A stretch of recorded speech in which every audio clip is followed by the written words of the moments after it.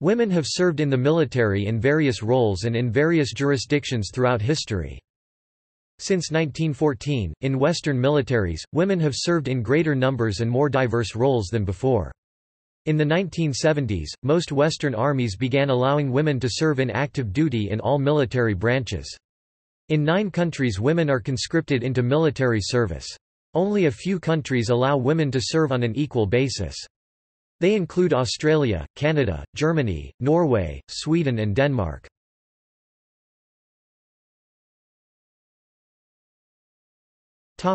History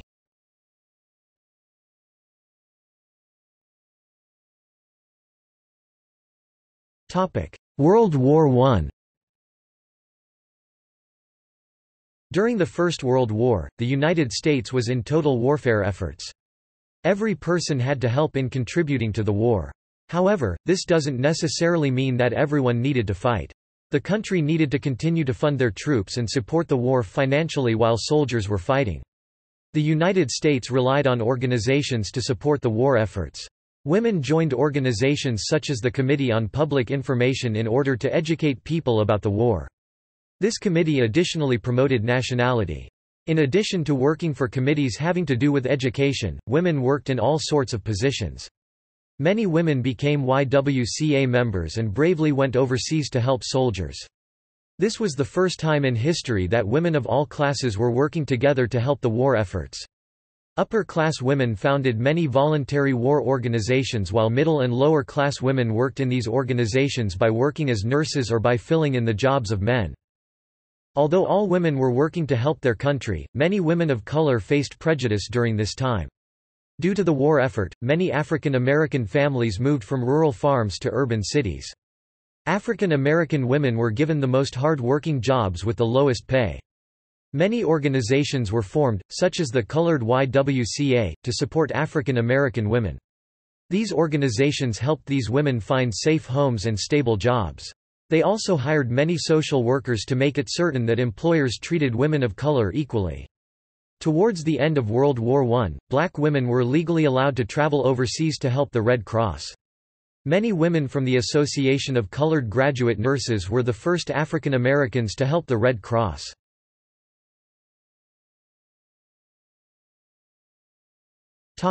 Russia The only nation to deploy female combat troops in substantial numbers was Russia. From the onset, female recruits either joined the military in disguise or were tacitly accepted by their units. The most prominent were a contingent of frontline light cavalry in a Cossack regiment commanded by a female colonel, Alexandra Kudasheva. Others included Maria Botchkareva, who was decorated three times and promoted to senior NCO rank, while the New York Times reported that a group of 12 schoolgirls from Moscow had enlisted together disguised as young men. In 1917, the provisional government raised a number of women's battalions, with Botchkareva given an officer's commission in command. They fought well, but failed to provide the propaganda value expected of them and were disbanded before the end of the year. In the later Russian Civil War, they fought both for the Bolsheviks infantry and the White Guard.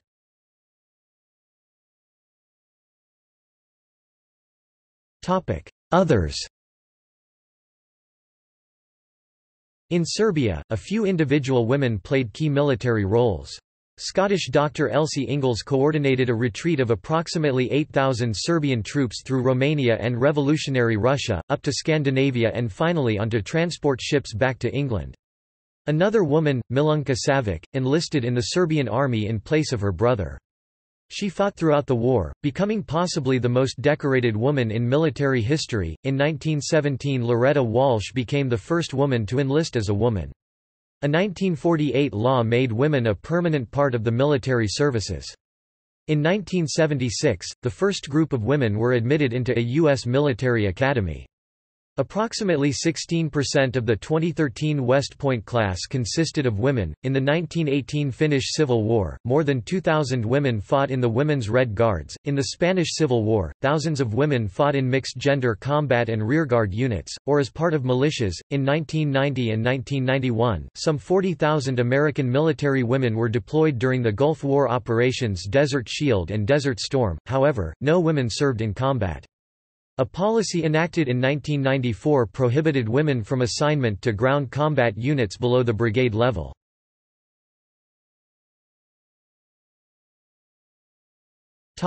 World War II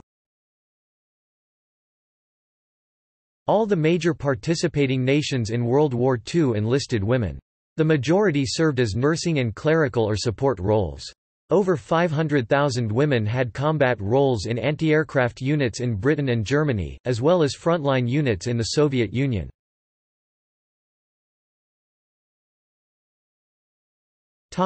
United Kingdom In 1938, the British took the lead in establishing uniformed services for women small units of nurses had long been in service. In late 1941, Britain began conscripting women, sending most into factories and some into the military, especially the Auxiliary Territorial Service attached to the Army. The ATS began as a women's auxiliary in 1938. In 1941, the ATS was granted military status, although women received only two-thirds of male pay. Women had a well-publicized role in handling anti-aircraft guns against German planes and V-1 missiles. The daughter of Prime Minister Winston Churchill was there, and he gushed that any general who saved him 40,000 fighting men had gained the equivalent of a victory. By August 1941, women were operating fire control instruments, although they were never allowed to pull the trigger, since killing the enemy was considered to be too masculine. By 1943, 56,000 women were in anti-aircraft command, mostly in units close to London where they faced a risk of death, but not of capture. The first death of a woman in anti-aircraft command occurred in April 1942.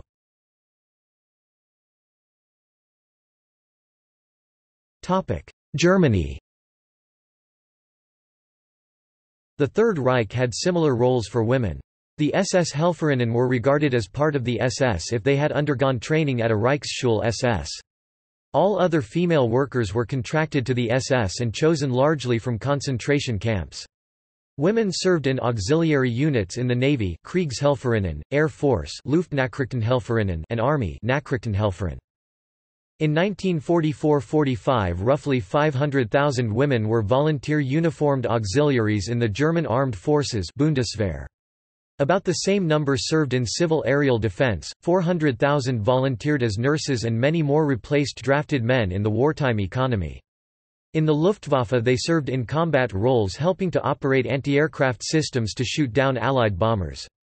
By 1945, German women held 85% of the billets as clerics, accountants, interpreters, laboratory workers and administrative workers, together with half of the clerical and junior administrative posts in high-level field headquarters. The German nursing service consisted of four main organizations, one for Catholics, one for Protestants, the secular DRK Red Cross and the Brown Nurses for committed Nazi women. Military nursing was primarily handled by the DRK, which came under partial Nazi control. Frontline medical services were provided by male medics and doctors. Red Cross nurses served widely within the military medical services, staffing the hospitals close to the front lines and at risk of attack. Two dozen were awarded the Iron Cross for heroism under fire. Brown nurses were forced to look away while their incapacitated patients were murdered by war criminals. Hundreds of women auxiliaries served in the SS in the camps, the majority of which were at Ravensbrück. In Germany women worked and were told by Hitler to produce more pure Aryan children to fight in future wars. Japanese American women During the Second World War, many Japanese American women lost their jobs or pay because they were sent to relocation camps. Japanese immigrants and Japanese Americans were faced with discrimination. Many Americans called it the Yellow Peril and called Japanese people Japs. In 1913, California passed the Alien Land Law which prohibited aliens ineligible for citizenship from owning land to grow crops on. Despite the discrimination, many Japanese American women volunteered to serve in the Women's Auxiliary Army Corps. Sexism along with racism was something that these women faced when they joined WAAC. Even while dealing with discrimination, Japanese American women were able to greatly help the United States. Many women were hired as interpreters, translators, and interrogators in the Military Intelligence Service. In 1948, the Women's Army Corps was permanently established and remained until 1978 when women were allowed into the Army.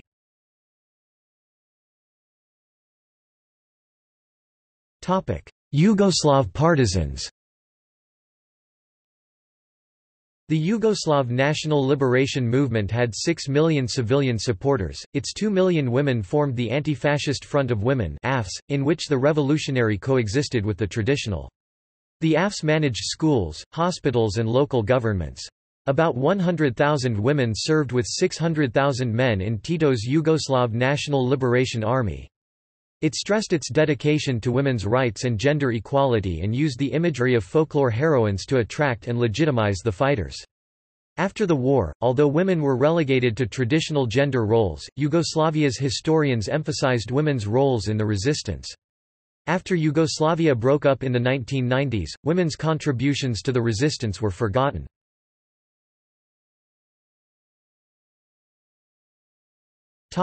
Vietnam War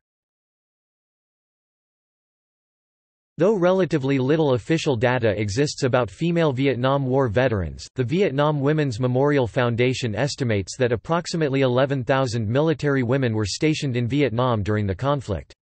Nearly all of them were volunteers, and 90% served as military nurses, though women also worked as physicians, air traffic controllers, intelligence officers, clerks and other positions in the U.S. Women's Army Corps, U.S. Navy, Air Force and Marines and the Army Medical Specialist Corps. In addition to women in the armed forces, an unknown number of civilian women served in Vietnam on behalf of the Red Cross, United Service Organizations USO, Catholic Relief Services and other humanitarian organizations, or as foreign correspondents for various news organizations. In addition to the U.S. military women who served in Vietnam, an unknown number of female civilians willingly gave their services on Vietnamese soil during the conflict. Many of them worked on behalf of the American Red Cross, Army Special Services, United Service Organizations USO, Peace Corps, and various religious groups such as Catholic Relief Services. Other American women traveled to Vietnam as foreign correspondents for news organizations, including Georgette Dickey Chapelle, a writer for the National Observer who was killed by a mine while on patrol with U.S. Marines outside Chu Lai in November 1965. According to the Vietnam Women's Memorial Foundation, 59 female civilians died during the conflict.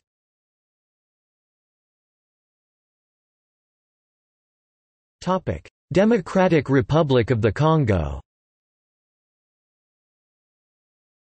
The Democratic Republic of the Congo began training an initial 150 women as para-commandos for the Armée nationale congolaise in 1967. Many more were trained subsequently, over a period of years. The women received parachute and weapons training, although it is unclear to what extent they were actually integrated into the combat units of the Congo.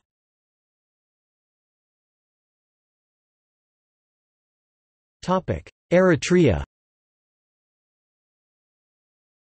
In 1999, the BBC reported that about a quarter of the Eritrean soldiers in the Eritrean-Ethiopian War were women.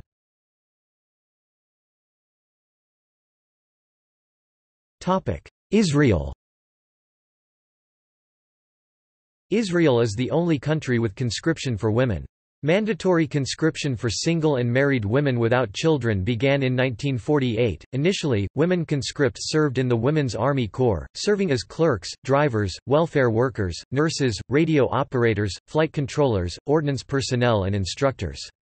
Roles for women beyond technical and secretarial support began opening up in the late 1970s and early 1980s. In 2000, the Equality Amendment to the Military Service Law granted equal opportunities in the military to women found physically and personally suitable for a job. Women started to enter combat support and light combat roles in a few areas, including the artillery corps, infantry units and armored divisions. A few platoons named Caracal were formed for men and women to serve together in light infantry. Many women joined the border police. Despite these changes, fewer than 4% of women's service members are in combat positions such as infantry, crew of tanks or other armored vehicles, artillery guns service, fighter pilots, etc. Rather, they are concentrated in combat support.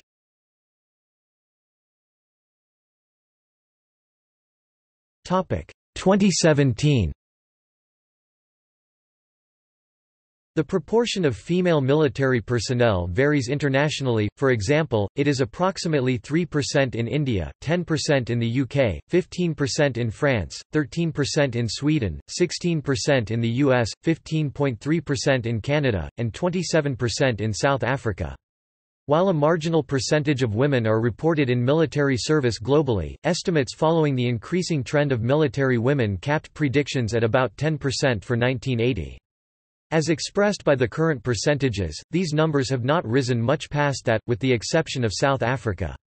Many state armed forces that recruit women continue to bar them from ground close combat roles roles that would require them to kill at close quarters. This practice preserves male domination within militaries. In limiting female entry, militaries have maintained their characteristic brutal masculinity. Compared with male personnel and female civilians, female personnel face substantially higher risks of sexual harassment and sexual violence, according to British, Canadian and U.S. research. Not only have women been left unprotected, but the major cause of PTSD experienced by women is identified as military sexual trauma MST. The male experience of PTSD derives from that of combat trauma.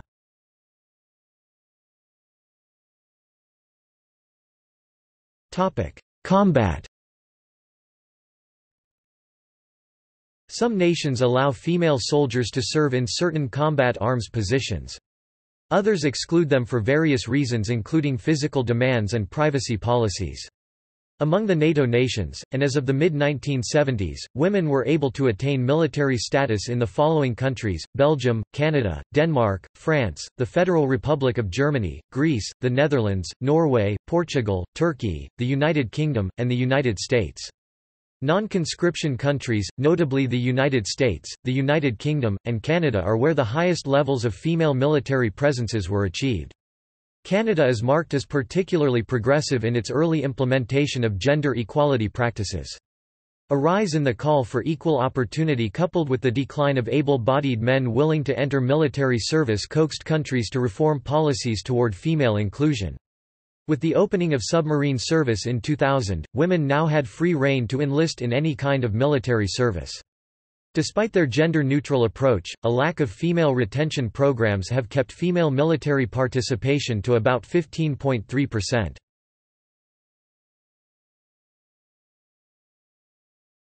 Topic: United States The United States military opens all positions to women. Units such as Special Forces require members to meet extraordinary requirements, and no females have met them in some units.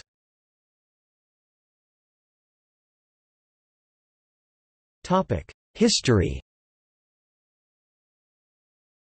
Women have been involved in the U.S. military since 1775, originally in the civilian fields of nursing, laundering, mending clothing and cooking. Deborah Sampson was one of the first women to enlist while disguised as a man. She was unhappy with her limited role in the American Revolution. She served in a light infantry unit, fighting in many battles. Injuries put her in a hospital where her secret was discovered. Her commanding officer, General John Paterson, honorably discharged her and thanked her for her service. Many women contributed to the Civil War, whether it was through nursing, spying, or physically fighting on the battlefield. An example of this is seen through Belle Boyd. She began her career as a spy and messenger at the young age of 17. By the time she had become 20, she became quite famous in the United States in which people called her the Cleopatra of the Confederacy.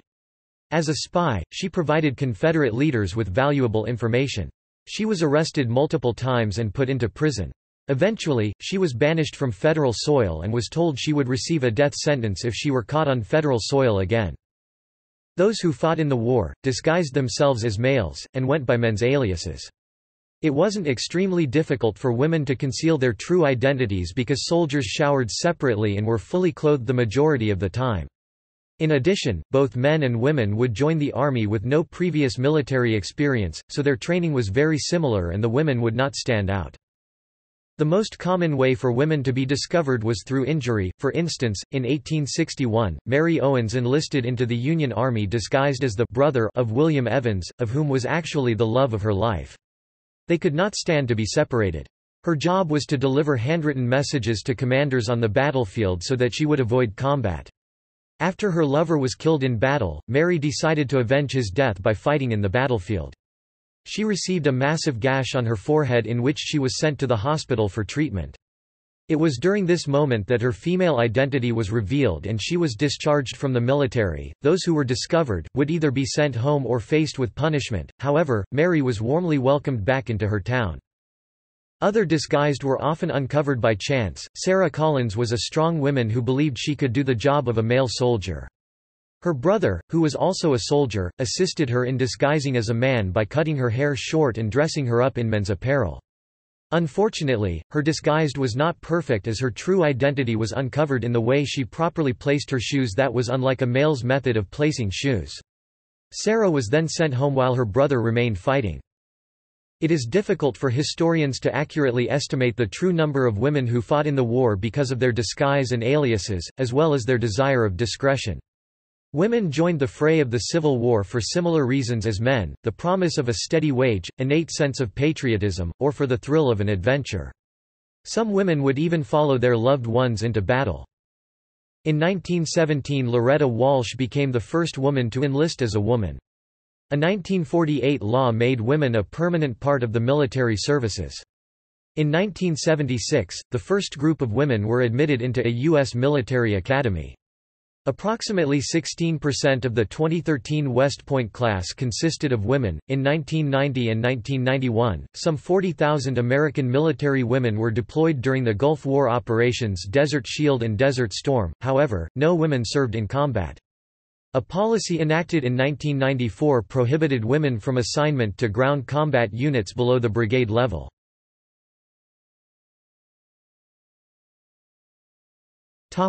Policy changes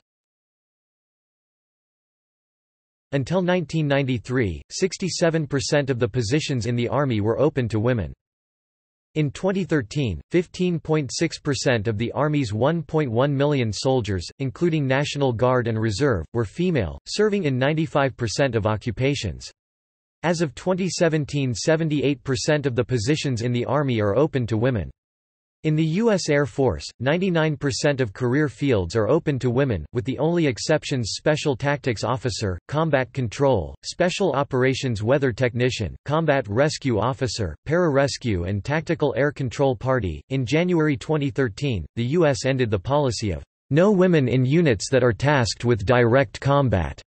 In 2013 female U.S. Army soldiers enrolled in a training course designed by Combined Joint Task Force Paladin, specifically designed for female engagement team members. The course was intended to train female soldiers for tasks such as unexploded ordnance awareness, biometrics, forensics, evidence collection, tactical questioning, vehicle and personnel searches, and homemade explosive devices. By May 2015, none of the 19 women vying to become the first female Army Rangers had passed Ranger School, 11 of the 19 dropped out in the first four days. Of the remaining eight who failed in the next step, three were given the option to. Two graduated in August 2015.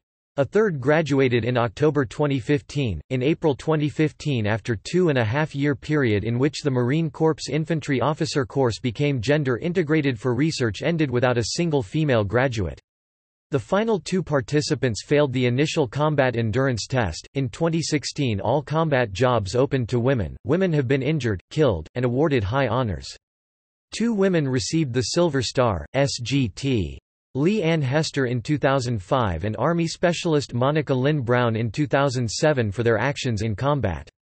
Over 10,000 combat action badges were awarded to women who served in combat in Iraq and Afghanistan.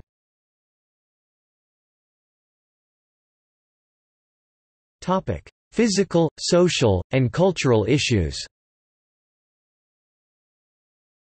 A 2015 Marine Corps study found that women in a unit created to assess female combat performance were significantly injured twice as often as men, less accurate with infantry weapons and not as good at removing wounded troops from the battlefield. The study assessed a nine month experiment at Camp Lejeune, NC, and 29 Palms, Calif.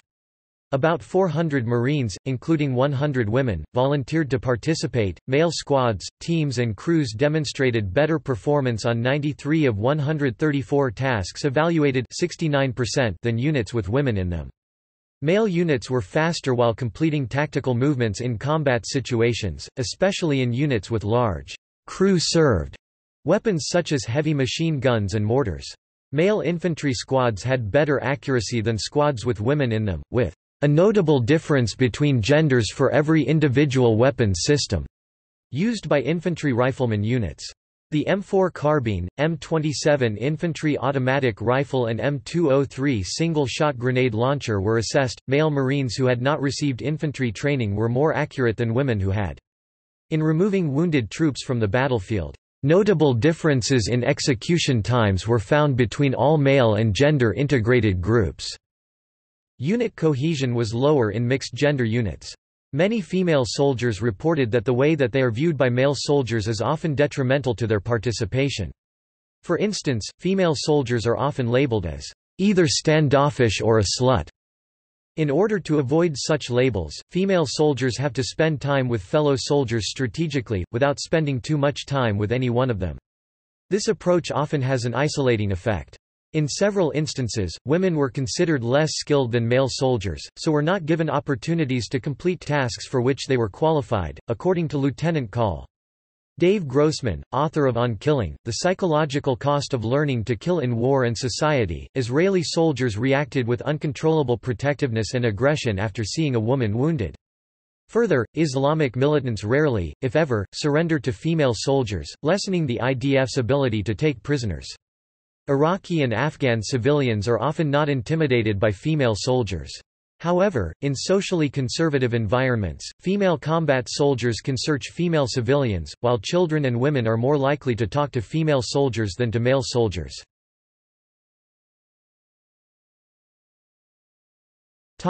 Sexual harassment and assault one 2009 report concluded that military women were three times more likely to be raped than civilians, and that women soldiers in Iraq were more likely to be attacked by another soldier than by an insurgent. In 1988, the first military-wide sexual harassment survey found that 64% of military women had been subjected to some form of sexual harassment. The most affected were Native Americans, followed by Hispanics and African Americans.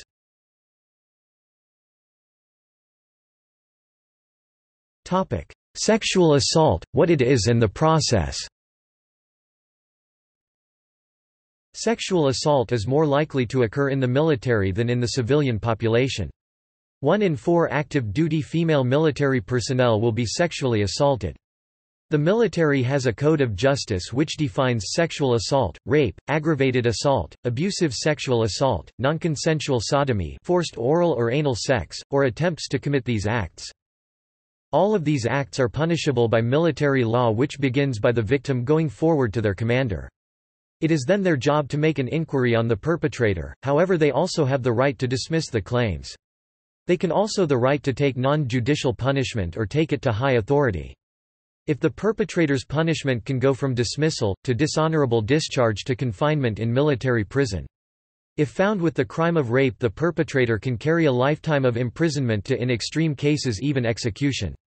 When women went to report their sexual assault 83% of the victims stated that their experiences with military legal personnel made them reluctant to seek further help. Many victims in the military describe the response to and aftermath of sexual assault as more painful than the assault itself because of the unspoken code of silence the Code of Silence implicates that women should keep quiet about their assault and not come forward to take action.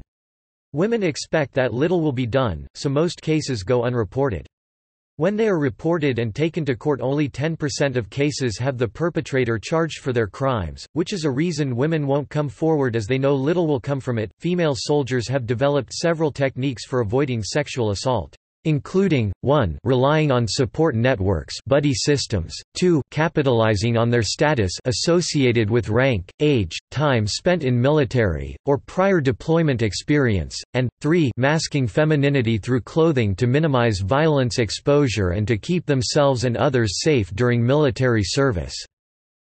Such strategies leave the burden of addressing the problem on potential victims. Conversely, in many units, soldiers pair off as buddies who watch out for each other. In mostly male units, females buddy with males who then often becomes excessively protective, reducing the female's agency. A lawsuit seeks redress for military plaintiffs who claim to have been subjected to sexual assault. The Invisible War addresses this lawsuit and topic. Topic: Effects of sexual assault. Sexual assault leads to many health problems for women in the military such as anxiety disorders, such as post-traumatic stress disorder PTSD, depression, substance abuse, binge eating, dissociation and memory impairment, suicidal and parasuicidal behavior, sexual dysfunction and dissatisfaction, poor self-esteem, and personality disorders, such as borderline personality disorder. It also takes a toll on their physical health and have reported having menstrual complications, headaches, back pain, gastrointestinal pain. All of these factors make it hard for women to stay in the military. In women, it is the leading cause for early leave of the armed forces. Once leaving the military, the women have a hard time reintegrating back into society and can end up homeless. It is so debilitating for women in the military because most of their perpetrates are people they work and live with, from peers to a supervisor and higher above. This close relationship creates a new type of trauma as the victim is forced to see them every day and creates an overall lack of trust in people. They more often fail to complete college, and generally earn incomes less than $25,000. Their work can involve frequent interactions with their attacker, and damages trust in the institution. Perpetrators are typically in a higher position have the job to protect the woman, increasing trauma. Updated military training focuses on bystander interventions and the role of consent in sexual activity, emphasizing the responsibility of male soldiers. Some female soldiers assume the classically male role of protector. This works to change women's responsibility for preventing rape and requires that male soldiers acknowledge their responsibility to engage with female soldiers in all activities.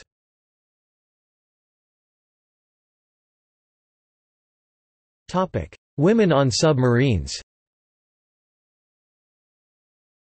In 1985 the Royal Norwegian Navy became the first navy in the world to permit female personnel to serve in submarines. The first female submarine commander was Captain Solveig Krey aboard the first Kobben-class submarine on the 11th of September 1995.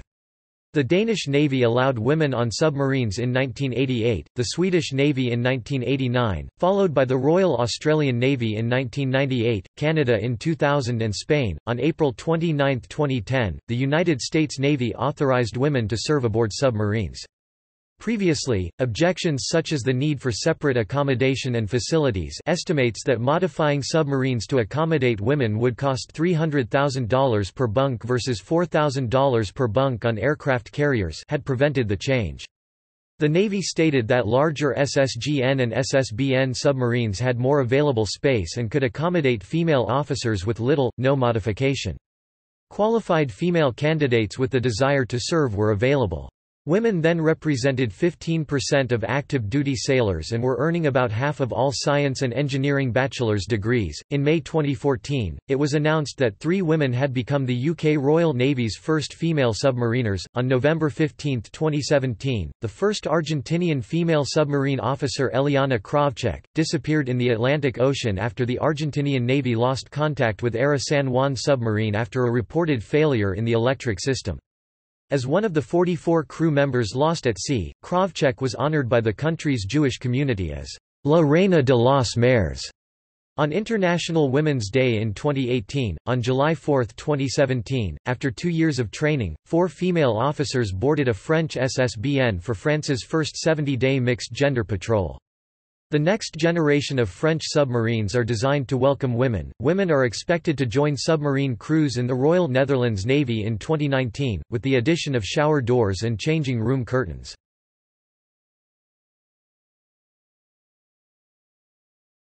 Topic: Academic studies.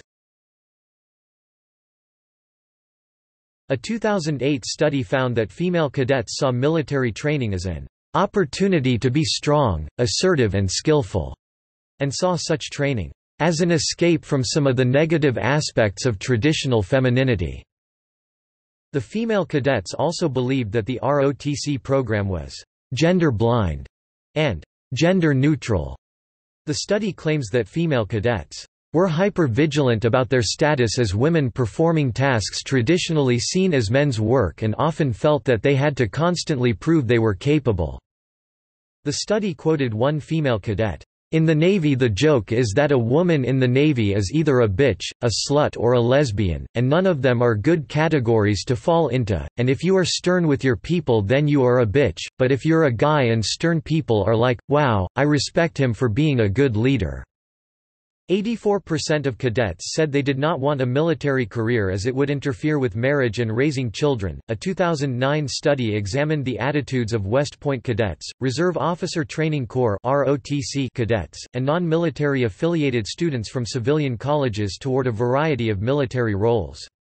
Cadets were less approving of assigning women to certain military jobs than others. Apart from negative stigmas surrounding women in military training, their role in academics throughout various vocational training schools has increased throughout the years. Statistics from the Women's Memorial taken in 2011, show that the traditionally minute portion of the military that included women has risen to approximately 15% on active duty, 20% serving in reserve or guard components, and 16% currently receiving officer training. These statistics also show that approximately 90% of all military occupational specialties are now available to women some of which include combat arms specialties which have traditionally excluded women from participation. Women's inclusion in combat arms specialties has been a long-fought battle, of which women have obtained the right to participate in such occupational specialties such as infantry, and even advanced schools such as Army Ranger School. As of April 9, 2018, 12 women have successfully completed the rigorous Army Ranger Training School. According to the Army Times, the first two women to graduate from Army Ranger School were capped. Kristen Griest and First Lieutenant Shaye Haver. This is a huge milestone for women in the military, and as a result of this we have seen our first women in a commanding officer position over a company in the Army's prestigious 82nd Airborne Division, which still serves as an infantry company. According to statistics presented by the Council on Foreign Relations, there has been a significant increase in the percentage of women in the military, from 2% to 16 to 18% today.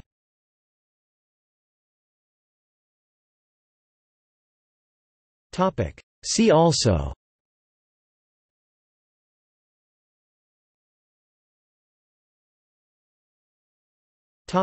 Notes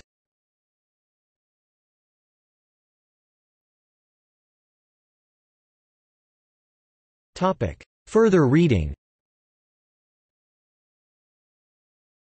Topic Bibliography Fasting, Kari and Trond Svela Sand eds. 2010. Gender and Military Issues, a Categorized Research Bibliography, Moving Soldiers, Soldater i Bevegelse 01, 2010. ISSN 1891-8751. 1 Sand, Trond Svela and Kari Fasting eds. 2012, Gender and Military Issues in the Scandinavian Countries, a Categorized Research Bibliography, Moving Soldiers, Soldater i Bevegelse 01, 2012. ISSN 1891-8751. 2 Brownson, Connie 2014. Rejecting Patriarchy for Equivalence in the U.S. Military A Response to Anthony King's Women Warriors, Female Accession to Ground Combat. Armed Forces and Society. 44, 765–788.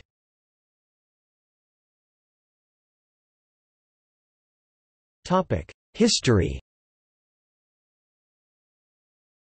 Cook, Bernard, ed. 2006. Women and War, Historical Encyclopedia from Antiquity to the Present. Elshtain, Jean Bethke. Women and War 1995. Elshtain Jean, and Sheila Tobias, eds. Women, Militarism, and War 1990. Goldman, Nancy Loring ed. 1982. Female Soldiers Combatants or Noncombatants? Historical and Contemporary Perspectives. Goldstein, Joshua S. War and Gender, How Gender Shapes the War System and Vice Versa 2003, Psychology Perspective Hacker, Barton C. and Margaret Vining, eds.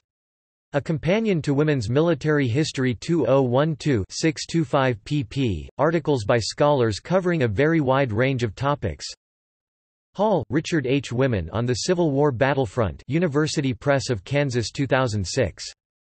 Lines, Lisa 2011. Milicianas, Women in Combat in the Spanish Civil War 1936 -1939. Plymouth, UK, Lexington Press. ISBN 978-0-7391-6492-1 Jones, David. Women Warriors, A History, Brassey's, 1997 Pennington, Reina, 2003. Amazons to Fighter Pilots, A Biographical Dictionary of Military Women. Salmonson, Jessica Amanda 1991. The Encyclopedia of Amazons, Women Warriors from Antiquity to the Modern Era. Paragon House. ISBN 978-1-55778-420-9. Topic World War II Biddiscombe, Perry, 2011. Into the Maelstrom, German Women in Combat, 1944–45, War and Society 2011, 30 No. 1 pp 61–89 Bidwell, Shelford. The Women's Royal Army Corps London, 1977 on Britain Campbell, Dan. Women at War with America, Private Lives in a Patriotic Era Harvard University Press, 1984, on W. W. 2 Campbell, Dan. Servicewomen of World War II, Armed Forces and Society Win 1990 16–251–270, statistical study based on interviews Campbell, Dan. Women in Combat, The World War II Experience in the United States, Great Britain, Germany, and the Soviet Union Journal of Military History April 1993, 57–301–323, online edition in JSTOR Cottam, K. Jean Soviet Airwomen in Combat in World War II Manhattan, Kays, Military Affairs, Aerospace Historian Publishing, 1983 de Groot G. J. Whose Finger on the Trigger? Mixed Anti-Aircraft Batteries and the Female Combat Taboo, War in History, Volume 4 No. 4, December 1997, pp. 434–453 Dombrowski, Nicole Ann. Women and War in the Twentieth Century, Enlisted with or Without Consent 1999 Dominé, Jean-François, 2008. Les femmes au combat, l'armée féminine de la France pendant la Seconde Guerre mondiale Hagemann, Karen 2011. Mobilizing Women for War, The History, Historiography, and Memory of German Women's War Service in the Two World Wars. Journal of Military History. 75 3, 1055–1093. Harfield, Alan 2005. The Women's Auxiliary Corps India. Journal of the Society for Army Historical Research. 83 335, 243–254. Krylova, Anna, 2010. Soviet Women in Combat, A History of Violence on the Eastern Front. Morton, Allison. Military or Civilians? The Curious Anomaly of the German Women's Auxiliary Services During the Second World War, 2012. ASIN B007JUR408 Markwick, Roger D. 2008. A Sacred Duty, Red Army Women Veterans Remembering the Great Fatherland War, 1941–1945, Australian Journal of Politics and History, 2008, 54 No. 3 pp. 403–420. Maubach, Franka, Satjukow, Silk, 2009. Zwischen Emanzipation und Trauma, Soldatinnen im Zweiten Weltkrieg Deutschland, Sowjetunion, USA Historische Zeitschrift, April 2009, Volume 288 Issue 2, pp 347–384 Merry, Lois K., 2010. Women Military Pilots of World War II, A History with Biographies of American, British, Russian and German Aviators. Pennington, Reina, 2007. Wings, Women and War, Soviet Airwomen in World War II Combat Pennington, Reina, 2010. Offensive Women, Women in Combat in the Red Army in the Second World War Journal of Military History, July 2010, Vol. 74 Issue 3, p. 775-820 Pearson, Ruth Roach, 1986. They're Still Women After All, The Second World War and Canadian Womanhood. McBryde, Brenda, 1985. Quiet Heroines, Story of the Nurses of the Second World War, on British Sarnecky, Mary T. 1999. A History of the U.S. Army Nurse Corps Schwarzkopf, Jutta 2009.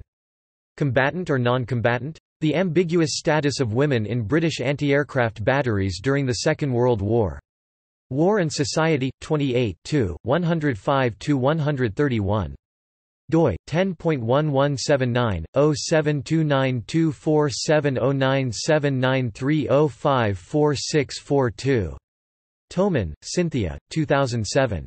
An Officer and a Lady, Canadian Military Nursing and the Second World War. Treadwell, Mattie E. 1954. United States Army in World War II, Special Studies, The Women's Army Corps, The Standard History, part of the Army Green Series online Free Williamson, Gordon, 2003. World War II German Women's Auxiliary Services. Topic recent Campbell, Dan, 2012 Almost Integrated? American Servicewomen and Their International Sisters Since World War II in A Companion to Women's Military History ed. by Barton C. Hacker and Margaret Vining pp 291–330 Carreiras, Helena. Gender and the Military, Women in the Armed Forces of Western Democracies New York, Routledge, 2006 Carreiras, Helena and Gerhard Kümmel eds, Women in the Military and in Armed Conflict 2008 excerpt and text search Dandeker, Christopher, and Mady Wechsler Segal. Gender Integration in Armed Forces, Recent Policy Developments in the United Kingdom Armed Forces and Society 23 No. 1 Fall 1996, 29–47. Eulriet, Irene. Women and the Military in Europe, Comparing Public Cultures New York, Palgrave Macmillan, 2009 Frampton, James Scott The Influence of Attitudes and Morale on the Performance of Active Duty United States Marine Corps Female Security Guards 2011 Frank, Nathaniel et al. eds. Gays in Foreign Militaries 2010, A Global Primer Santa Barbara, CA, Palm Center, 2010 Garcia, Sarah 1999. Military Women in the NATO Armed Forces. Minerva, Quarterly Report on Women and the Military. 17 33–82. Gill, Ritu, Febbraro, Angela R. 2013. Experiences and Perceptions of Sexual Harassment in the Canadian Forces Combat Arms. Violence Against Women. 19 269–287 doi 10.1177 1 quadrillion 77 trillion 801 billion 213 million 478,140 PMID 23443902 Goldman, Nancy. The Changing Role of Women in the Armed Forces, American Journal of Sociology 1973-78 4, 892–911. ISSN 0002-9602 Online in JSTOR Herbert, Melissa S. Camouflage isn't only for combat, gender, sexuality, and women in the military New York U Press, 1998 Holm, Jean M. 1993. Women in the Military, An Unfinished Revolution, Women from the United States Lemmon, Gayle Tzemach. Ashley's War, The Untold Story of a Team of Women Soldiers on the Special Ops Battlefield HarperCollins, 2015 American Women Skaine, Rosemary. Women at War, Gender Issues of Americans in Combat. McFarland, 1999. United States Presidential Commission on the Assignment of Women. 1993 Report on the Presidential Commission on the Assignment of Women. Middle East Holmstedt, Kirsten. Band of Sisters, American Women at War in Iraq 2007 excerpt and text search Holmstedt, Kirsten. The Girls Come Marching Home. Wise, James E. and Scott Baron. Women at War, Iraq, Afghanistan, and Other Conflicts 2006. Topic Social Science Studies Archer, Emerald M. 2013. The Power of Gendered Stereotypes in the U.S. Marine Corps. Armed Forces and Society. 39 359–391 doi 10.1177/0095327 extension 124466924 Booth, Bradford 2003 Contextual Effects of Military Presence on Women's Earnings. Armed Forces and Society 30 to 25-51 doi 10.1177/0095327 extension 0303000102 Cooney et al. 2003 Racial differences in the impact of military service on the socio-economic status of women veterans. Armed Forces and Society 30 to 53-85 doi 10.1177/0095327X030300103.cs1 maint explicit use of et al link dar Yechezkel Kimi Shaul 2004 Youth in the Military Gendered Experiences in the Conscript Service in the Israeli Army. Armed Forces and Society 33 433 to 459 doi 10.1177/0095327 extension 0403000306 Iskra, Darlene 2007 Attitudes toward expanding roles for Navy women at sea results of a content analysis. Armed Forces and Society. 33 203 to 223 doi 10.1177/0095327 extension 06287883 Mitchell, Brian, 1998. Women in the Military: Flirting with Disaster. Washington D.C. Regnery Publishing. XVII 390 ISBN 0-89526-376-9 Moore, Brenda 1991. African American Women in the U.S. Military. Armed Forces and Society, 17 363–384. doi 10.1177/0095327 extension 9101700303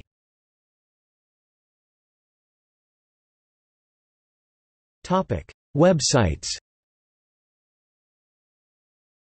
Green Berets BBC News Online on May 31, 2002, long, hard struggle for Green Beret retrieved on March 12, 2007 BBC News Online on May 31, 2002, Superwoman Pip's Green Beret test retrieved on March 12, 2007 Joan of Arc Joan of Arc archive retrieved on March 12, 2007 Maid of Heaven extensive site about Joan of Arc, retrieved on March 12, 2007 Women Veterans The Betty H. Carter Women Veterans Historical Project located in the Special Collections and University Archives Department at the University of North Carolina at Greensboro Textiles and artifacts from women in World War I located in the Special Collections and University Archives Department at the University of North Carolina at Greensboro Miscellaneous Official Women in the U.S. Army History page retrieved on June 23, 2016 Blitzkriegbaby.de site for women in the military retrieved on March 12, 2007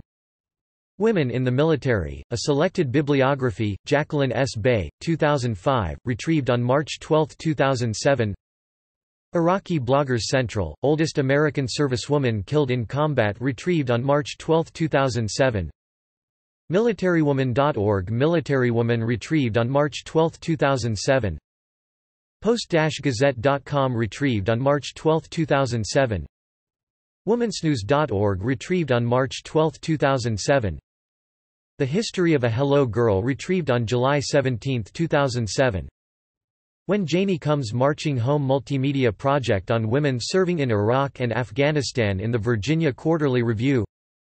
Enlisted Women in Submarines EWIS US. Navy.